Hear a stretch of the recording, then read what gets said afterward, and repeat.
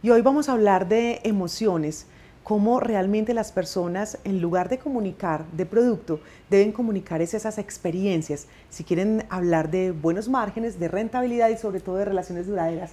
Por eso estamos aquí con David Juárez. Él viene de la Universidad Politécnica de Valencia, España. Pues bienvenido a Negocios, qué bueno tenerlo acá. Muchas gracias, encantado de estar aquí. Cuéntenos inicialmente por qué en definitiva debemos transmitir experiencias, más emociones el mismo producto. Perfectamente. Vamos a ver, el marketing puede ayudar al, área comercial a vender más y con mayores márgenes. ¿Por qué?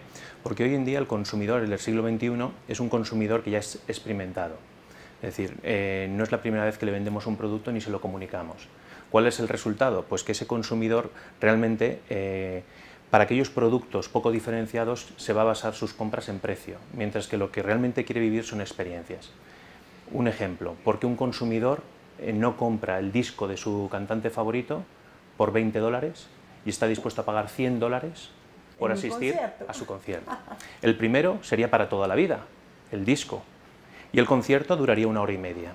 Sin embargo, hay que reflexionar, ¿realmente el disco es para toda la vida o es el concierto y la experiencia vivida para toda la vida? A partir de ahí tenemos que analizar el por qué hay que transmitir experiencias vividas y por qué debemos de focalizar hacia las emociones cuando desarrollamos modelos de negocio. David, y si explicamos esto desde el punto de vista del cerebro, cómo realmente funciona y desde ahí cómo se teje esa relación, no a productos, sino a emociones. Eh, desde la perspectiva del neuromarketing, eh, como ciencia, existe lo que se denomina un modelo triuno, eh, denominado así por Paul MacLean, donde se habla, del cerebro eh, basado en tres grandes partes. La primera de ellas es el cerebro reptiliano, el más antiguo, es el que toma prácticamente todas las decisiones del día a día. Es el que decide si vamos a salir a la calle o si vamos a comprar algo. Después está el límbico, el que vive las emociones. Es el que realmente eh, desarrollamos desde que somos mamíferos, por ese contacto con las crías. Y el tercer cerebro sería el racional, que no es el que toma decisiones de compra, sino que es el que lleva a cabo razonamientos pero es el menos utilizado durante el día a día en, el consumidor. ¿Esto qué quiere decir?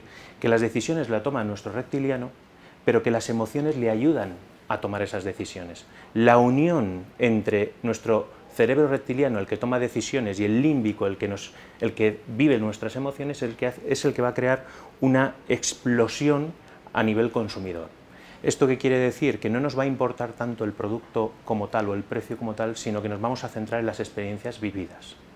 Desde esta perspectiva lo que tenemos que centrar es el diseño y, la configuración de nuestros modelos de negocio y producto desde las experiencias y comunicar exactamente igual. Si hablamos de producto, nos compararán con producto, nos compararán con características de la competencia. ¿Cuál podríamos decir que es el riesgo cuando hablamos de producto y no de experiencias?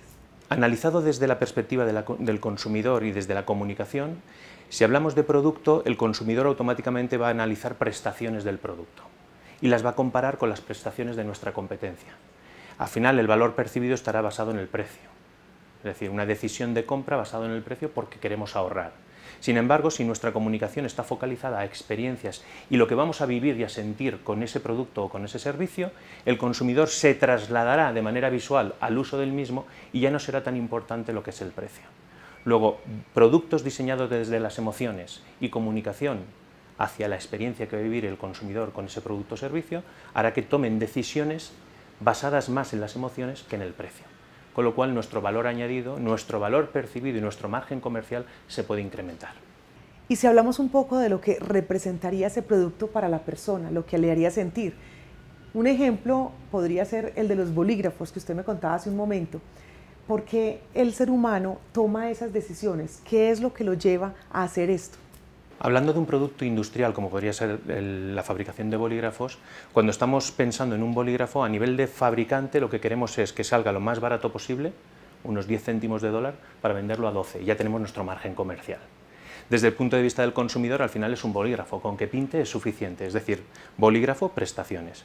Pero desde la perspectiva del consumidor, si en lugar de intentar hacer bolígrafos a 10 céntimos para venderlos a 12, pensase en hacer un bolígrafo de 10 dólares, ponerle una marca, Montblanc y tratar de venderlo a 250 dólares, cambiamos de consumidor y, hacemos desaparecer a todos a todos los competidores.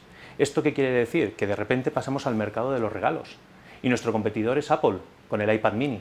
Porque yo a final de año a mis mejores clientes les voy a regalar o un Montblanc o un iPad mini.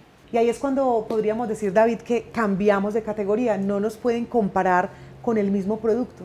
Exactamente, de repente pasamos al mercado de los regalos. Cuando yo voy a regalarle a un amigo algo, tengo mis 30 dólares de presupuesto. Voy a buscar productos que se asemejen a esos 30 dólares. Como empresa, a mis mejores clientes les voy a regalar, si el año pasado fue un iPad mini, este año un Montblanc. Al final, tengo presupuestado lo que voy a gastarme vivo la experiencia, tanto yo como la que va a sentir, las emociones que va a sentir mi, cliente, y de esa manera no tengo ningún problema en gastarme los 250 dólares pensando que es algo emocional y que no está destinado eh, exclusivamente a escribir. Pues David, de verdad que muchísimas gracias por acompañarnos aquí en negocios y sobre todo por hacer esta reflexión de cómo migrar si queremos realmente mejores márgenes, más rentabilidad, pero sobre todo clientes para toda la vida, de un producto a una experiencia. Muchas gracias. Muchísimas gracias. Este es Negocios.